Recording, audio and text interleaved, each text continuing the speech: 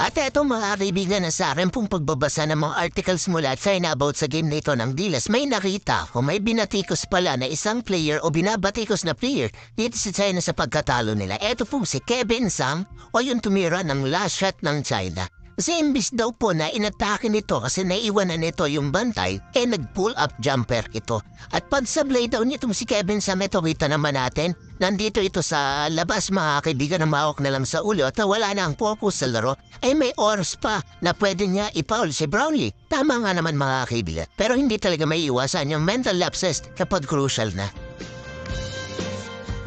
Ngayon mga kaibigan, ito po ang panoorin nating mabuti. Si Yao Ming, ito po yung courtside reaction niya after mismo ng game ng Gilas. Medyo mahaba to, one minute ata to. Ito yung talagang buo para at least may idea tayo sa kanyang reaksyon. Siya lang naman po ang presidente ng Chinese Basketball Association at siya rin po ang namamahala dito sa national team ng China. Ito kaibigan na piling ko inisnab po talaga o naisnab talaga ang ating national team dito, ni Yao Ming. Kasi ito ah, kinamayan pa niya mga kaibigan yung staff dito sa venue. Pero nung dinaanan niya, eto kasalubong na niya kasunod na ang Giles Pilipinas yung buong team natin, bisita ng kanilang bansa, ay hindi man po nila anya. Kinamayan mga kaibigan, eto na mga kaibigan, o katabing katabi na niya mga kaibigan, dinaanan niya, bawat lang ang pagitan, no? kita niya naman, no?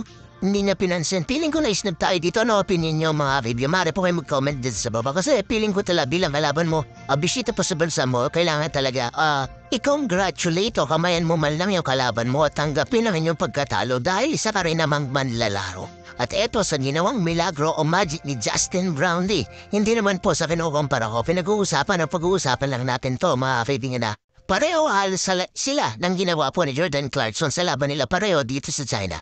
Kung si Jordan Clarkson sa isang quarter ay nakaapat na 3 points nung FIBA World Cup, si Justin Brownlee naman dito sa laban niya dito sa China ay nakalimang 3 points po siya sa loob lamang din ng isang quarter. So ito mga kaibigan at kung ako ang tatanungin niyo kung mas mabigat o mas matindi ang ginawa sa kanilang dalawa, ay dito po ako kay Justin Brownlee. Bakit? Kasi nung kay Jordan Clarkson sa World Cup, home court po tayo mga kaibigan at galing tayo sa day off galing sa pahinga. So eto kay Justin Brownlee mga kaibigan na pangatlong sunod-sunod na games po ito ang kalaban mo pa ay home court.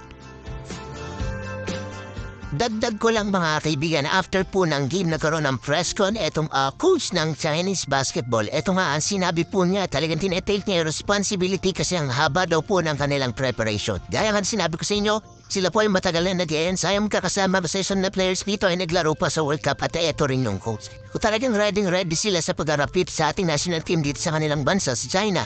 Pero tinalo natin, credit talaga dito kay Coach Tim Conan sa mga players. Sipin po ninyo, Napakaiksi ng preparation natin. Tinalo natin ang China. At eto mga kaibigan, may gusto kang sabihin, sigurado yan.